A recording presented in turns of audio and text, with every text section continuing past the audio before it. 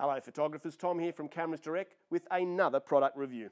Today we're going to have a look at the Sigma Art Series 50mm f1.4 DG lens. The DG being the designation for full frame cameras, although it can be used on crop sensored cameras.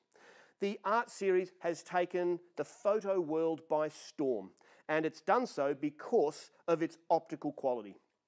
Quite simply, this is the sharpest autofocus 50mm lens available on the market today.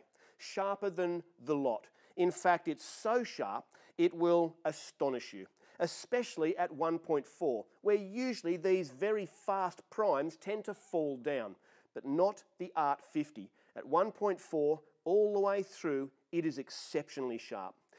It's also sharp from the center and out to the edges as well, which is very important.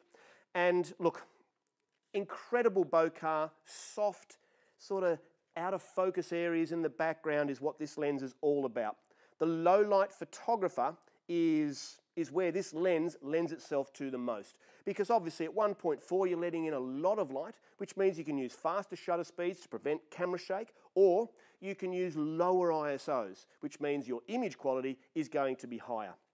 So the Sigma Art series also is renowned for its build quality. Solid, well-constructed lenses. Beautiful manual focus ring, so very smooth if you do want to focus this manually. A good solid switch for your autofocus on and off. It is an internal focus, so when you do focus, it does not rotate the end element. So if you are using a polarizing filter, it won't rotate that.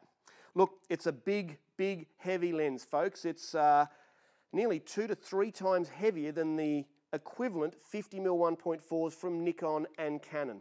So look, it's, it's not something that uh, is going to be lightweight for the traveler. But you know what? I would not worry about that because of the sharpness. It is a small price to pay for what you're going to get optically out of this lens. Look, it's a 77mm filter size, so you definitely want to be getting a high quality Pro 1 or HD, UV or protector filter to protect that very big bit of glass. So it can also be used on crop sensored cameras. Obviously on a full frame it's a 50mm standard lens which is about a 46 degree field of view. So great for just your standard sort of street photography, social photography. You could use it for environmental portraits. You could use it for architecture as well. Gives that human eye perspective. Virtually no distortions. Or throw it on a crop sensored Canon, which would be an 80mm 1.4 or a crop sensored Nikon, 75mm 1.4. That puts it into the just the bottom end of the ideal portrait focal length. So, uh, and you know, superb again, very sharp and beautiful background blur. So folks, if you want the best 50mm 1.4 that money can buy, then the Sigma Art series is quite simply the only choice.